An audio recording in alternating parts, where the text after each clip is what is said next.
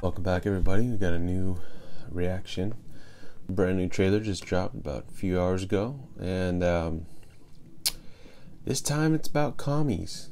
At least I think commies. Uh, the official trailer for The Death of Stalin, starring Steve Buscemi, just dropped, and uh, I'll be perfectly honest with you, I'm not too keen on my history and something about the whole Stalin and all that is where I have some uh, ignorance. Uh, but uh, I'm familiar with uh, his tyranny and the like. And um, looks like it's going to be an interesting film. I don't know how many films there are about Stalin. Um, I just might might not know about him, but uh, kind of curious to see how Steve Buscemi uh, plays out this one. Is he the main guy? I don't know.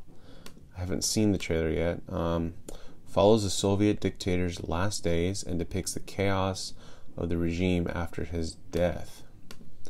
So we're not going to only get his life and some things that happened there, but also the chaos of the regime after his death. So not exactly sure what that entails because, like I said, I'm not familiar with the history that much. But let's let's get right into it.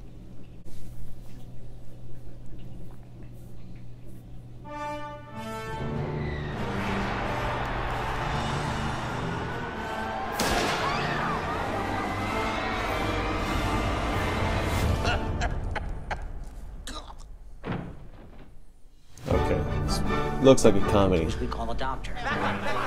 Oh yeah, it's comedy. All the best doctors are dead. I can't remember who's alive and who isn't. Ah. It's Comrade Stalin. I'll take it from here. We need to start putting together a plan. Funniest films, 21st century. at the same time? We should get Stalin's children here. What are you doing to my father, you jackals? How old are you? I'm old. You're not old! You're not even a person! You're a testicle! Everything's gonna be fine. It's not exactly fine, is it? My father's lying there with his head open. Stalin would have wanted the committee as one. All those in favor? Carried. Unanimously. Rushed, not rushed. Whatever. There he Not is. rushed. Rushed? Would you stop with this? I want to make a speech at my father's funeral. No, uh, no problem. Uh, technically, yes, but practically, When I said no problem, what I meant was no, no problem. Ignore me. I'm sorry, but I am very furious. you're the good guy now? You locked up half the nation. Yes, and now I'm releasing them. What are you doing? I've been picking out funeral cushions with Slim Hitler over there. Trust no one. Stalin will be loving this. Don't worry. Nobody's gonna get killed. I promise you.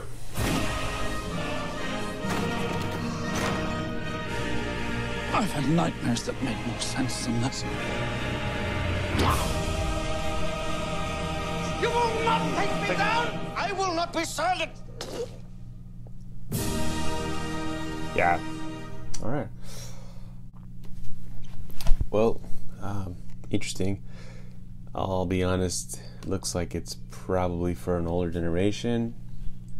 Uh, sure. I mean, um, I could see how someone my age might be interested, but um, yeah, I don't know. It just kind of came off sort of as a movie with uh, Bruce Willis and a few other older guys, and it was called Red, something Red or just Red, and um, looked like it might have been a cool movie, funny and things like that. But I kind of watched it feeling like, oh, this is definitely not catered to my my age group. But you know, it was semi entertaining. But you know, just a lot of jokes that I don't think are necessarily funny based on my age and things like that. So they didn't really hold my attention that well. Anyway, this movie looks similar. Um, I don't know. Let me know what you guys think. Um, personally, I have no interest or desire whatsoever to see this outside of if somebody had it randomly on. But even then, I probably would be checking my phone on Facebook the entire time. That's sort of. It's not a popcorn flick, it's a Facebook flick. Anyway, um, thanks for watching, guys. Click subscribe and like and comment. Let me know what you guys uh, want to see or, uh, or what you thought.